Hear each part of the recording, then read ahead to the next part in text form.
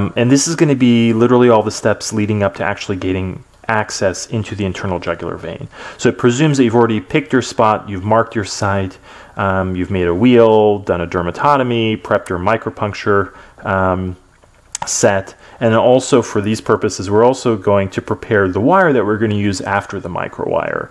Um, so here we have the Amplatz. And we have our lidocaine as well too, because before we make the uh, puncture, we're actually going to numb up deeper leading up to the tract. So what we'll do is we'll go through the dermatotomy with our um, lidocaine needle, and then we'll just look here on the screen. We can see the actual needle there, and we will be giving numbing medication until we get right outside the vessel, giving numbing medication, and then we'll go back along the tract, giving numbing medication, um, and then we'll bury our sharp here. We'll grab our micropuncture, making sure that the bevel is up, and we're going to take the same track, go through our dermatotomy here, and then um, we will look here on the screen. There is our needle right there. We can follow it along the tract. And then right as we get into the vessel, we're going to make a, a sharp little movement. And there it is right inside. Okay, so now we have two options. We can let go of the needle or the ultrasound probe. We'll show both here very quickly.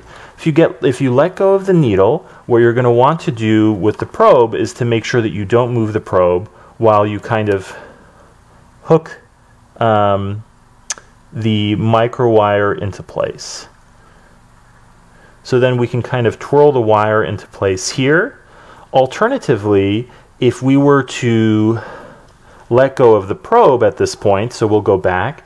Let's say we're inside the vessel here like we were before. Um, and uh, we're going to let go of the probe, hold the needle in place. Then you can switch hands and hold the needle like so. Then you can grab the wire again. And then similarly, what you can do is just try to get your micro wire into the tip of the needle. And then once it kind of gets in the hub, you can twirl it. That helps it kind of go down.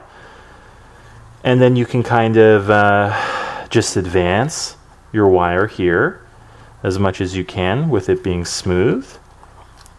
And it keeps going, which is good, nice and smooth. And now we can pull off the needle here. We can bury it in our sharp. And what we're going to do now is we're going to put the microcatheter on here. We can load it on the back end of the wire. There we go. Make sure to not lose access. Hold, and now we're going to hold the back end as we kind of advance the microcatheter as much as we can.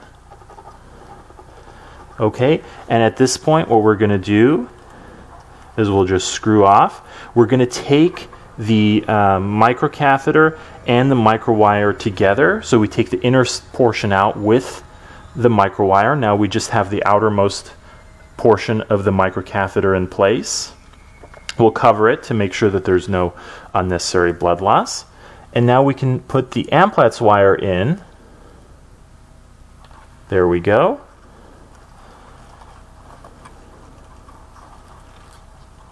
And we'll kind of advance this wire. And now we have secured access. We we can take out um, this microcatheter over the wire and put anything else in and get on with our case. And that is how you gain internal jugular vein access